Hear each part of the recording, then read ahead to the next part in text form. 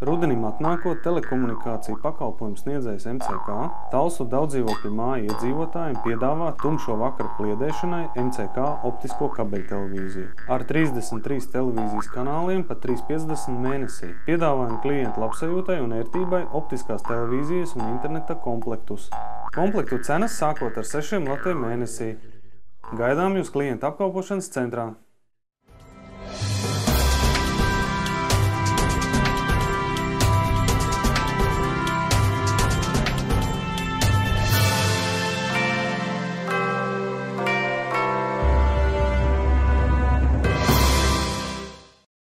Labs vakars jūs mājās! Šovakar Talsu televīzija nāk pie jums ar šādām ziņām. Komersantu kluba biedri atskatās uz jau paveikto un plāno nākotni. Iedzīvotāji aicināti pieteikt laureātus Talsu novada goda rakstiem. Pastu tomēr saņemsim arī sestdienās, un Pācē Vilnas pārstrādes uzņēmumā tēva sirdslietu pārņem dēls.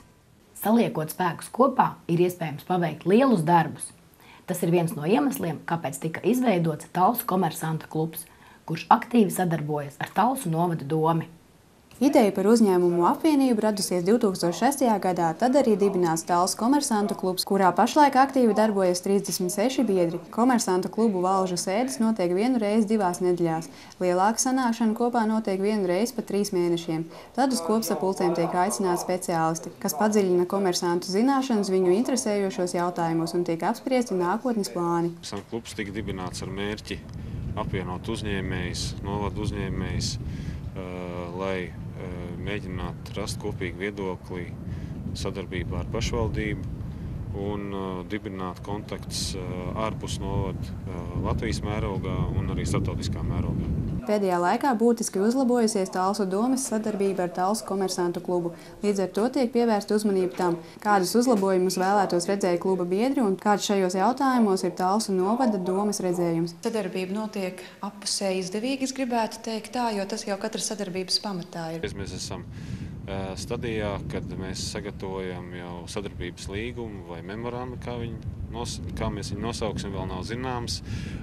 Tas būs atkal jau jauns, pilnīgi jauns cēliens mūsu sadarbībā. Jau tagad sadarbojoties ar Talsu domu veikti vairāki uzlabojumi vietēju uzņēmumu interesēs. Talsu komersanta kluba kopsapulcēs vienmēr piedalās arī kāds Talsu domas pārstāvis, lai zinātu, kas rūp uzņēmējiem. Infrastruktūras veidā ir uzlabot ceļi, Ne, protams, ne viss ir nosveltāts, bet ir tā problemātiskās ceļi ir saremontēti, ir nekustamā īpašuma nodokļu atlaides ir bijušas. Pirms došanās pieredzes apmaiņas braucienos domas darbinieki kopā ar komersantu klubu iepriekš izrunāja jautājumus, lai brauciens būtu noderīgs ne tikai domas darbiniekiem, bet arī vietējiem uzņēmējiem. Veidojot nākamā gada sadarbības projektus ar citām valstīm, iepriekš tiek domās, kā šī sadarbība noderēs arī vietējo uzņēmumu attīstībai. Tomēr daudz jautājumu un problēmu risināmi tepat. Starptautiskā sadarbība sadarbība ir nu, plašāks skatījums uz tām lietām, kas mums šeit notiek. Bet pietiekami daudz problēmu jautājumu ir tepatās uz vietas pašvaldībā. Par Talsu komersantu kluba biedru var kļūt tik viens Talsu uzņēmējs, kas vēlas iesaistīties būtisku jautājumu risināšanā. Pašlaik klubs apvieno visdažādāko nozaru uzņēmējus. Jūs esat komersantu kluba biedrs. Ko jums tas ir devis? Nu, daudz ko, teiksim, kaut vai to pašu, kad ir veidojies ļoti teiksim, tādas nu, pat eh, teiksim, draudzīgas un labas attiecības ar, ar pārējiem uzņēmējiem, un tikai, uzņē, ne tikai uzņēmēji, bet arī ar tālu teiksim, pašvaldību un, un eh, novadu pašvaldību. Un... Kluba biedri papildina savas zināšanas semināros, kā arī pieredzes apmaiņas braucienos, lai vēlāk dalītos iespējām ar mājās palicējiem. Būtiski ir arī komersantu kluba nozīme, ja jārisina strīdīgi jautājumi. Ja mēs ejam kaut ko viens par kaut ko cīnāmies, mēs neko neizcīnīsim, bet ja mēs ejam jau kaut kāda noteikta cilvēku grupa un, un mēs tomēr kaut kādu spēku sevi nesam, tad līdz to arī mūs uzklausa. Tagad uzsākts arī krustvecāku projekts, kurā pieredzējušākie uzņēmēji palīdzēs tiem, kas uzņēmēja darbībā ir nesen. Tā doma ir, kā krustvecākiem palīdzēt šiem jaunajiem uzņēmējiem Viņus ievadīt tādā kā uzņēmēja darbībā, viņus pamācīt ar grāmatvedību, par menedžmentiem. Lai gan pirmajā brīdī varētu šķist, kāpēc jau pieredzējis uzņēmējs vēlētos palīdzēt augstsavam konkurentam, atbildi saņēmām pārliecinoši.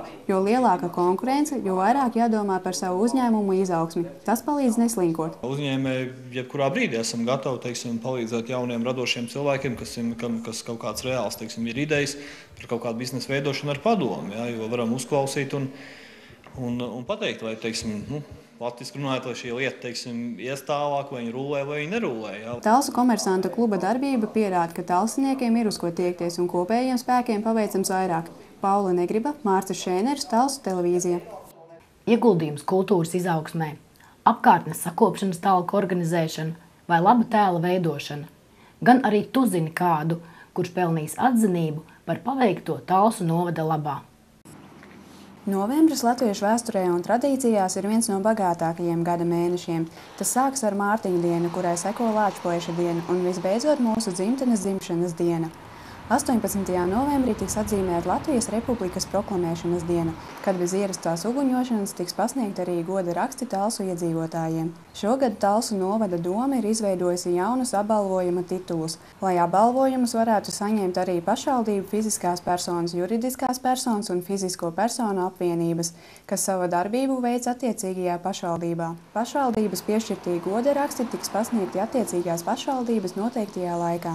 Apbalvošana ar goda rakstu rakstu var ierosināt attiecīgās pilsētas vai pagasta iedzīvotāji vai iedzīvotāju apvienības, iesniedzot savā pilsētā vai pagasta pārvaldē iesniegumu ar informāciju par apbalvojamo personu. Jāatgādina, ka goda apbalvojumu var saņemt persona par nozīmīgu ieguldījumu Talsu novadu pilsētu un pagastu attīstībā, sadarbības veicināšanā ar citām valstīm un par labu tēlu veidošanu. 18. novembris vairs nav aiz kalniem. Būsim aktīvi, godināsim tos, kas to ir pelnījuši.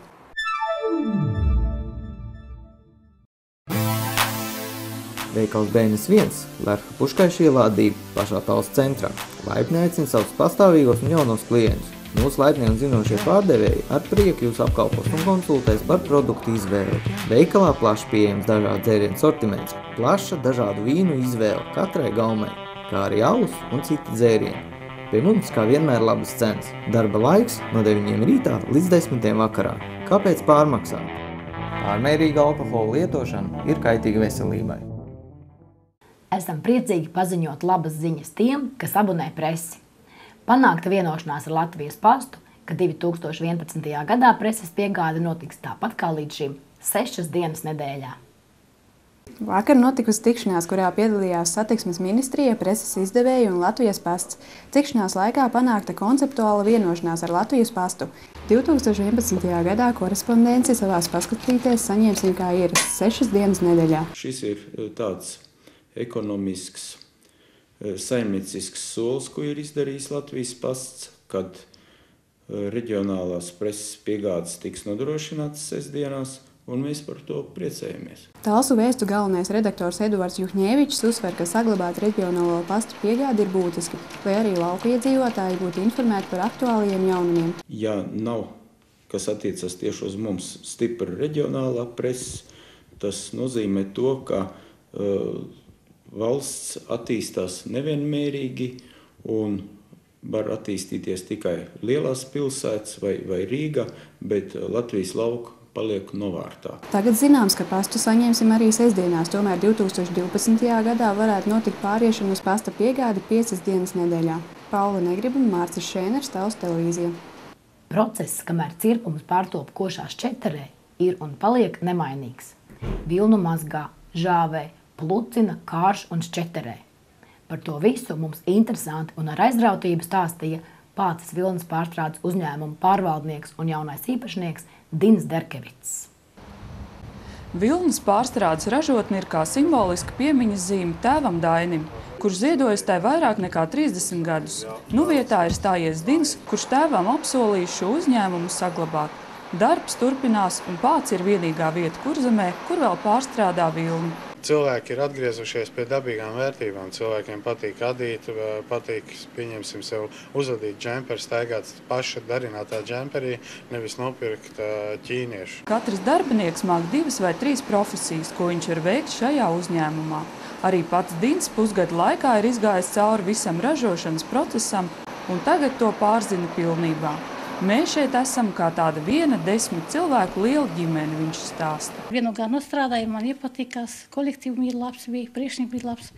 Un tā nostrādā līdz 205 gadus šorudim palika. Ja visas dienas šā, šādā veidā jānostrādā, vakarā rokas kā pārlaustas. Cilvēki no visām Latvijas malām ved aitu vilnu un pretī saņem jau gatavu produkciju. Tīru vilnu, pluču un vilnas uzkārsumu. Rokdarbnieču vēlmes esot dažādas. Audējām tuvāk ir dabīgie toņi, bet citi savukārt vēlas laimu zaļo un tirkīs zilo krāsu. Ļoti pieprasīta pašlaik ir naturālā pelēkā vilnas dzīve. Cilvēki grib dabisko, tas ir, pieņemsim, viņi nav krāsot, viņi ir tikai sagatavot, viņi tīri vilnas dzīve. Pācē gadā saražo 20 līdz 22 tonu produkcijas. Ražošanas apjomi nav lieli un ienākumi ir pieticīgi. Tikai tik daudz, lai varētu pastāvēt, atklāja pārvaldnieks. Lai šeit strādāt, kā jau es teicu, vajag mazliet sirdī tuvai būt tai lietai. Ja nē, savādāk tas nav, nav iespējams darīt. Dins stāsta, ka nākotnē cer piesaistīt Eiropas Savienības līdzekļus, lai visu šeit varētu atjaunot un tādējādi saglabāt darba vietas vietējiem un tuvākās apkaimes iedzīvotājiem. Daci Mieriņa, Mārķis Šēners, Talsu televīzija. Vēlot jums jaukas brīvdienas, no jums šovakar atvedās Tautas televīzija un Sigita Petrēvica. Satiksimies atkal pirmdien!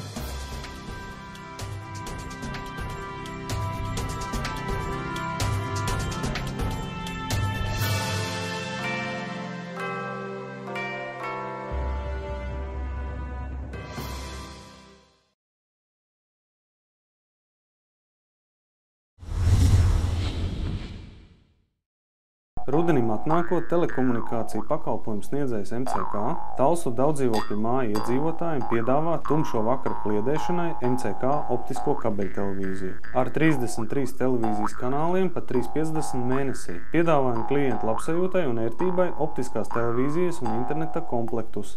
Komplektu cenas sākot ar 6 latiem mēnesī. Gaidām jūs klientu apkalpošanas centrā.